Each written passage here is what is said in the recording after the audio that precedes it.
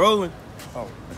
Me and my brother right here, we just um, cursed this establishment. Psychic readings, um, chakra readings, that's all deceptions that say Eastern religions. Um, that all stems from the fall of the garden. You know what I'm saying? There's one, there's one God, you know what I'm saying, and uh, one Jesus, you know what I'm saying? Um, in the same way, Jesus Christ showed his disciples that he could curse the fig tree, that you will no longer produce fruit and no longer produce, produce life. We have the authority in Jesus Christ to curse establishment like that. So they will no longer be able to deceive people, take people's money, not at that, take people's money and deceive them. So it's condemning their soul and their pockets. You know what I'm saying? So in the name of Jesus, we just curse this establishment and we praying that this is gonna be a testimony that this place is gonna be shut down and any other ones that we come across while we out here preaching. In Jesus' name. Rose on the third day. Innocent blood. For your tainted wicked blood. Jesus Christ loves you. He came and set you free. Repent, change your mind about the way you've been living and choose Jesus Christ while you still have time. Amen. Time is very short. Amen. Amen. We are in the last days. The Bible says in the last days people will be lovers of themselves rather than lovers of God. Liars, boasters, blasphemers. There's a whole lot of that going on nowadays. Amen. Jesus Christ came to set the captives free. He wants to redeem. Believe in Jesus Christ you shall be saved. This is a warning. Sent me, my brother here to warn you what is coming. Tribulation is coming, and it will be for you if you do not have Jesus. I don't care what walk of life you come from, he can set you free and redeem you. Amen.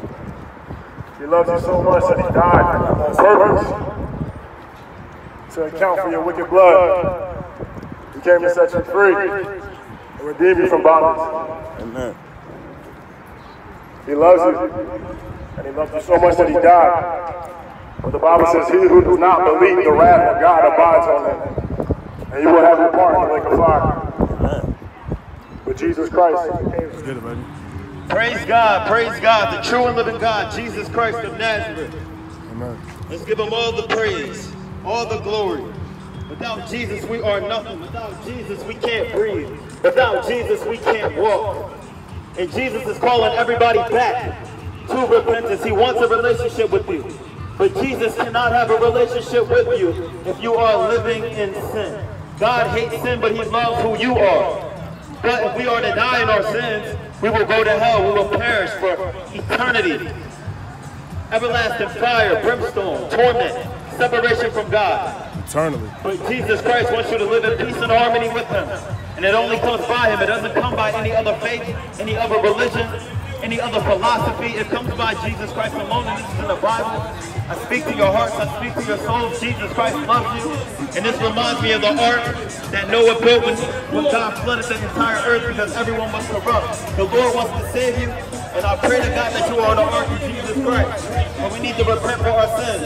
In the last days, people are going to be lovers of themselves. They're going to be lovers of pleasures more than they're lovers of God. They're going to be partying. They're going to be doing all these things. Then the Lord is going to come out of the sky. Where will you go? Are you going to go to hell or are you going to go to heaven?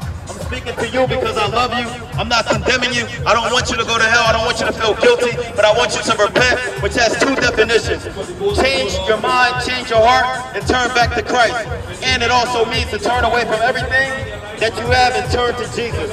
Because he is your only Savior, he is the truth, he is the way, and he is the life. Carry on, repent. Remember this message. Because if you guys die today, you're going to stand before God and he's going to replace this. Jesus wants to save you from everything in your life that you may be going through. But the Bible says if you reject God, then he will reject you. All of this, do whatever you want and Jesus loves you, that's not the truth. Because Jesus loves you, but he hates your sin. And your sin will send you straight to hell. Everlasting pain, torment, and fire, and brimstone, and separation from God. But that's not what God wants. He wants you to repent. He wants you to change your ways and to live how he wants you to live, walk according to his statutes and everything that comes out of his mouth. And he's speaking to you. You guys are going to remember this. If anybody died right now, God will replay this moment and say, why didn't you listen to the preacher? The Bible says, how are the people going to hear without a preacher? If he comes to you, if he ministers to you. It's not because I hate you. It's not because I feel some type of way. It's because I want you to repent and have everlasting life. And this is not forced because God gives you free will. Jesus Christ wants you to live a holy and sanctified life that comes with power and it comes with authority. I used to be someone that was addicted to pornography, addicted to weed, addicted to so many things, especially disrespecting my parents. But God changed my heart, He changed who I am. And although you guys are laughing, Jesus still loves you. He hates your sin.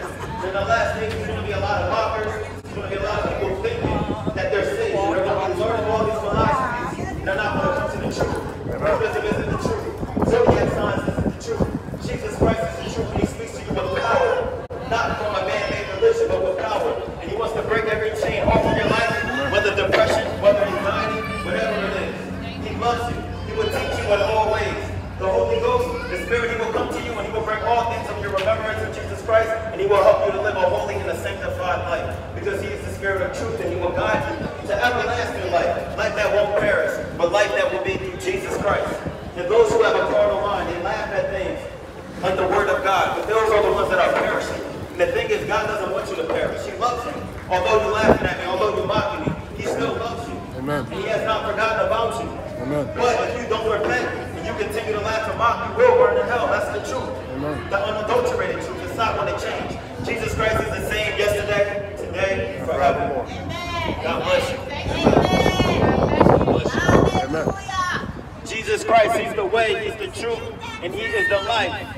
He has come to set you free from the law of sin and the law of death. Jesus has conquered sin, He has conquered death, He has conquered Satan, and He has come to give you life everlastingly. He loves you, He loves your family, He loves everything about you, but He hates sin. Sin will not inherit the kingdom of God. No drunkard, no one who is covetous, no one who is a liar, no one who is a thief, no one who is living in sin will inherit the kingdom of God. Because God's presence, God's kingdom is holy, and his, whole, his, his kingdom is not of this world. The lust of the flesh, the pride of life, the lust of the eyes, the things that we see, the unspiritual and demonic desires that we have as human beings will separate us from God. But once you give your life to God, He will give you a life of peace. He will give you a life of holiness and righteousness, which will come by your faith in Jesus Christ. Not your faith in zodiac signs, not your faith in African religion, not your faith in philosophies from the eastern side of the world, but faith in Jesus Christ. And Jesus, He said the truth will set you free. If you accept the truth, you will be free. But if you reject the truth, you will be condemned. God does not want you to be condemned. He wants you to live a life of power which comes by Him and no one else. It does not come from how much money you make at your job. It does not come from how good you look in the physical appearance because your body is going to pass away. And it's either going to go to heaven where it's everlasting peace or it's going to go to hell and you're going to burn up in darkness. That's the truth, but God doesn't want you to burn in darkness. He wants you to repent. He wants you to change your ways. He wants you to change your mind. And He wants you to live a life that is sanctified and holy through Him, not by anybody else. Jesus Christ said, I am the way, I am the truth, and I am the life. Many people, they go to church and they think that they're saved, when in reality, they are far from it. Because people profess to know Jesus with their mouths, but they deny Him by their works. They deny Him by their lifestyle. And Jesus Christ is saying, I told you to be holy as I am holy. This is the time to repent. This is the time to come back. This is the time. It ain't going to come. Anybody can die right now and they can burn in hell. But Christ to set you free. This is not what life encourage you to stay hydrated and refreshed. He comes to break every single chain. Many people are suffering from demons. Many people are suffering from their own flesh. But Christ has come to set them free by the blood of Jesus Christ. And this will only come to those who repent, those who believe.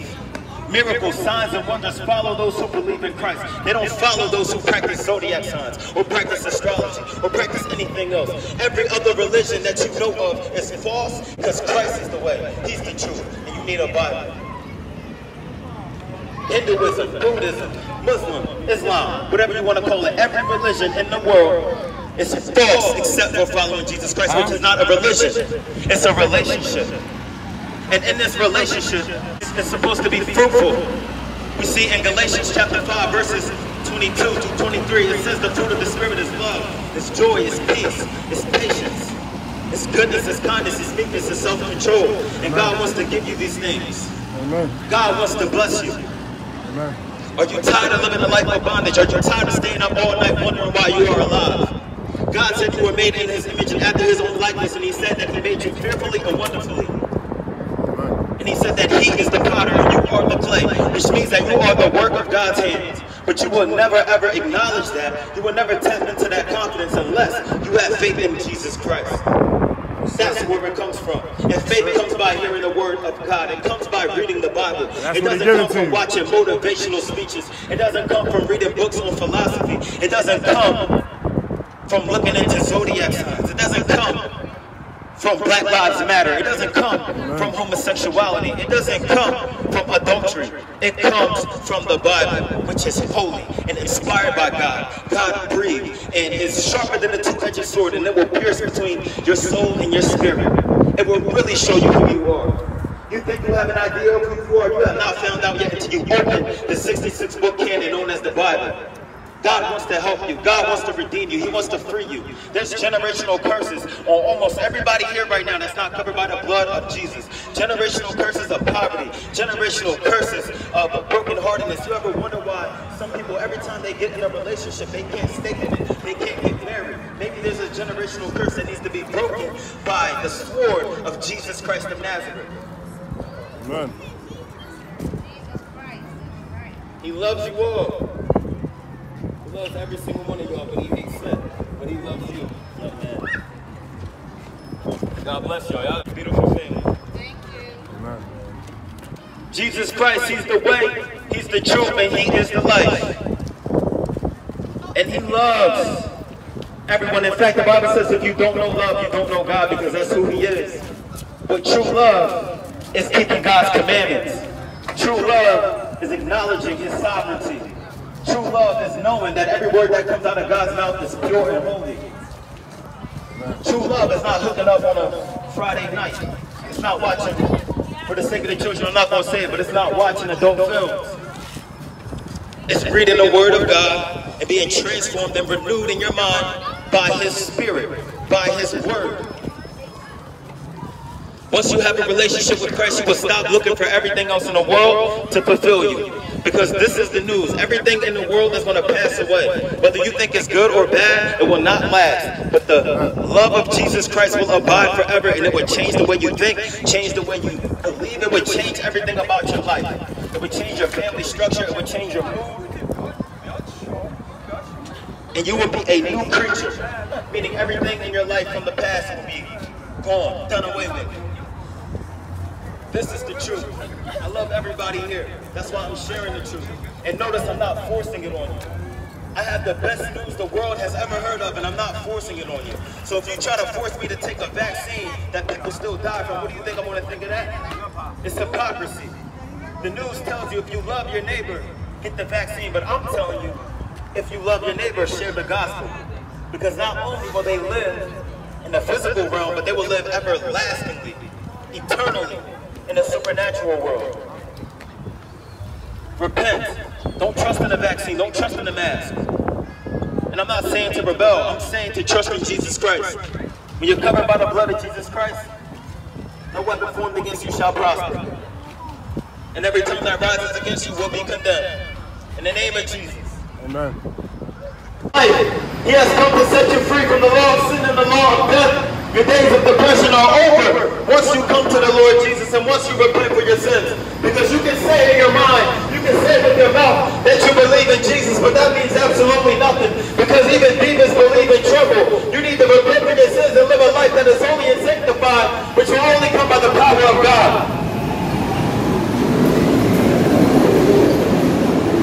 Jesus wants to set each and every single one of you free. There's not many of you down here. I, I think I've counted about 11 people down here. But Jesus Christ, He left 99 sheep to go find the one. He loves you so much, and that He has sent His servants down underground to come give you the truth that will lead you to everlasting life. I want you to know that everything that you're looking at right now will perish, it will pass away, it will not remain. But the word of God will abide forever. And he wants to give you eternal life of peace, happiness, and joy. You will not find it on this earth. You will find depression. You will find sickness. You will find blindness and death, confusion on this planet. But you find Jesus Christ when you have a spiritual mind, and this spiritual mind can only come through him. And he wants you to think of things that are above with him. But first, you need to even know who he is. Jesus Christ, he is the Lord. He's the King of Kings. He's the Alpha and Omega. And he has give you life more abundantly. You all know about demons. Everybody talks about demons. Everybody glorifies demons, even if they don't say they worship them, but they, they glorify demons with their lifestyle. They glorify Satan with their lifestyle. But God is telling you that they will still kill and destroy you. That's all they want to do. But Christ has come to give you life more abundantly. And you, you, you, you, you, all of you, he has a plan for you. This is not some message from a mere man. This is a message from the Spirit of the Lord. The Spirit of the Lord is moving and His anointing will break every demonic yoke in your life, whether that is oppression, whether that's gluttony, whether that's masturbation, whether that's homosexuality, whatever it is, He can break it from you and He can set you free. But you have to believe, you have to have faith. And faith comes by reading the Bible. Start with the book of John. I'm not just going to throw the 66 book canon at you and expect you to know what to read. I'm telling you, start with the Gospel of John. Get to know who Jesus Christ is. And he will cleanse you from all of your unrighteousness. He will forgive you if you repent. But if you reject Jesus, he will reject you. And I want you to know now, if you continue to live in sin after this message, he will not hear you. He will ignore you. And the reason that he will ignore your prayers is because of your iniquity. Your iniquity, your sin will hide his face from you. But if you come to him and you repent and you trust him with all of your heart and not onto your own understanding, you will be saved. You will have the fire of God. You will have the passion of God. You will walk in power and authority, and there will be no sickness, no disease that will be able to stand against the blood of Jesus Christ. He wants to change the way you think. He wants to change the way you behave. Christ is the way, and he loves you so much. And there's so much more to life than we see with our physical eyes. God bless you, ladies. He loves you. And he wants to change the way that you think. He wants to change the way that you behave so you can live a life of holiness, power, and authority. Demons will tremble at the presence of God that will live inside of you only if you repent. Huh? Hold on. And sperm, one out of, I think, trillions or billions is the one that succeeds. That means only one. You think that's an accident? You are not an accident. You have a purpose. You are not purposeless. Jesus Christ called to save you. I'm not here to throw him Be on quiet. you. Because he didn't force himself on me. I had to choose him, but he changed my life radically. Now I'm out here talking to y'all. I used to be smoking, I used to be drinking, having sex. And he set me free from all of that. Because even after I always did it, smoking and drinking, having sex outside of marriage, I still felt empty. Nothing filled me up until the blood of Jesus Christ and the Holy Ghost filled me with his power and his love. He loves you, but he also hates sin. So he commands everybody to repent, which means to change your mind. Unbelief to belief, sin to, to, to righteousness, wickedness to holiness. Hop off and hear the gospel. Go, hit He commands all people to be accountable for their sin, and he loves you. Amen. Because all God bless you. To repent. Time is very short. You do not have a lot of time left. And you get to choose. That's the beautiful thing about it. You don't have to be forced to do anything. Like this vaccine. You don't got to be forced. Christ came to give you an option. Amen. Tribulation is coming. It's on its way. Biblical prophecy is being um, fulfilled time and time again. Amen. Jesus Christ loves you, man. Woman, daughter, son, Amen. husband, wife. He loves you. Facts. And sacrifice is a sign of his love 2,000 years ago. Shoot, the time that we operate on, BC and AD, that's from Jesus. Before Christ. You feel me? Jesus Christ came to set you free and he loves you. Choose life while you have life in you. Because when you die, it's too late. There's no more choosing when you die. Not at all. He loves you. Believe in the gospel of Jesus Christ and be set free. Don't harden your heart. Don't operate in pride. You don't know it all. The Holy Ghost is a teacher. He will teach you. He will guide you in all things according to his word. His word will not return void. His word is true. And the Bible is alive. Amen. That scripture is powerful. And it will cast every demon and devil that's operating in you out to the pit of hell. Repent and believe in the gospel of Jesus Christ. Repent, repent, repent, repent, Repent. repent, repent. Market Street That's it. The only answer. on the block. I'm gonna post up right here. I know, that's what I'm saying. I just, bro, I put it on. I said Market Street. Get it in, bro. This is a perfect spot. Believe in the gospel of Jesus Christ and be saved. It will save you from yourself. It will save you from your sin. Sin means sin is separation from God. Christ came to restore what was lost in the beginning. Satan told Adam and Eve that they were gods. Ain't that what we hear today in spirituality? We're not gods. We are mere people, a mere creation. And we are lost. This world is lost. Time is very short. The tribulation of the Bible is coming. The mark of the beast is coming. You cannot buy or sell without the mark of the beast. What they telling you now? You don't got a vaccine, you can't buy or sell. Next is going to be the mark of the beast. And if you take that one, it's really over for you. Repent and believe in the gospel of Jesus Christ and be set free.